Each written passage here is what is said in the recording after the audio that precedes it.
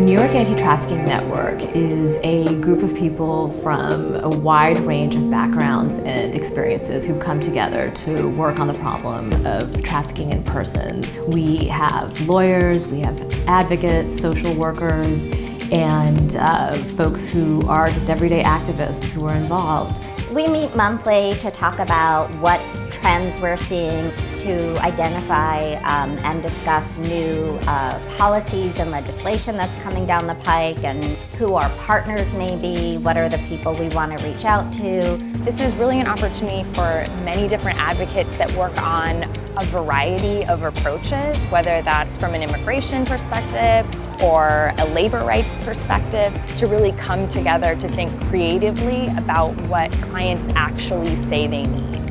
One thing that really defines the network is that everyone involved has significant on-the-ground experience working on issues of human trafficking with survivors. This really makes the network unique. What we hear from our clients and from survivors that we work with is that actually things are really complicated. There's a lot of nuance here. And working with the New York Anti-Trafficking Network brings me to the table with a bunch of other organizations and activists who similarly appreciate that nuance and work to figure out how to act within that complexity.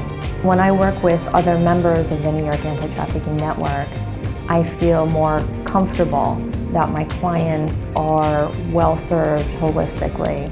The work we do for the New York Anti-Trafficking Network is none of us are full-time job. So it is more of a labor of love and it is something that is challenging for all of us to find the time, but we do.